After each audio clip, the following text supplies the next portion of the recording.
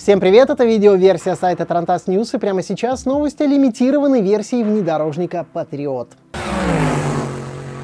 Ульяновский автомобильный завод к 200-летнему юбилею открытия Антарктиды кругосветной экспедиции Беллингаузена-Лазарева начнет продажи новой спецверсии своего внедорожника УАЗ «Патриот».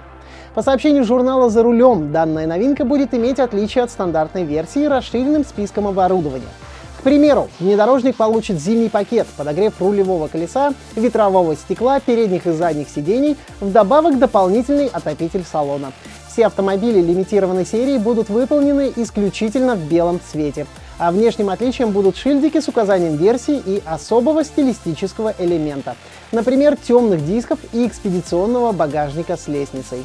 Новинка будет собрана на базе уже имеющейся модели, какой именно пока не сообщается комплектации среднего ценового диапазона и предназначена для любителей активного отдыха и путешественников. Дата выхода нового УАЗ Патриот пока не озвучена. У меня на данный момент все. Больше новостей доступно на нашем сайте tarantas.news. До скорого!